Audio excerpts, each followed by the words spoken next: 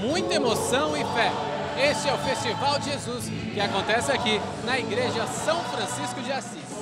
A paróquia São Francisco de Assis realiza no período de carnaval o retiro chamado Festival de Jesus.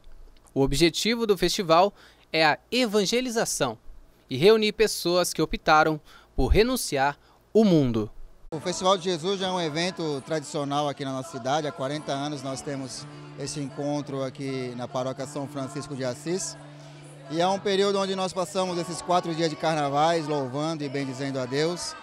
E aproveitando para nos abastecermos, né, já para um, a entrada aí da quaresma, para nos prepararmos para a Páscoa.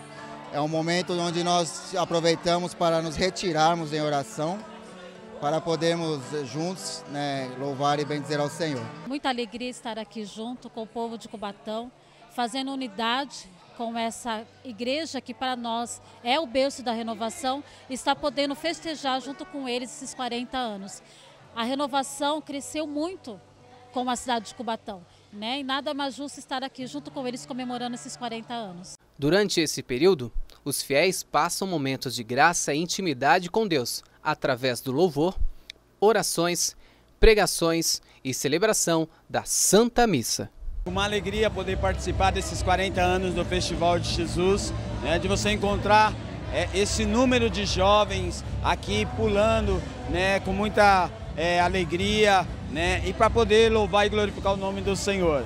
A gente sabe da importância da paróquia São Francisco de Assis, da importância deste evento, Festival de Jesus, no Brasil foi um dos primeiros a acontecer aqui, onde muitos padres a nível de Brasil passou pela paróquia São Francisco de Assis, padre Fábio de Melo, nós temos o padre Jonas, padre Eduardo e hoje nós temos a experiência de vivenciar o Festival Jesus nos seus 40 anos. 40 Festival de Jesus, uma grande festividade de renovação da fé, muitas famílias aqui reunidas. Eu acho que esse é o grande espírito de estarmos aqui reunidos, de pensar em que temos uma vida pela frente, que temos realmente que sempre ajudar o próximo e a igreja é o lugar para estarmos revitalizando todas essas energias com muita fé para enfrentar o dia a dia. Então parabenizo a todos os envolvidos, o Padre Ney Roque, que realmente fez o 40 Festival de Jesus à altura dos 40 anos aí de existência e que muitas pessoas passaram, tiveram uma importância muito grande e não temos como deixar de, de lembrar do Padre Primitivo, do Padre Antônio Pereira Luz, que foram sempre um grande motivador para chegarmos aqui nessa data.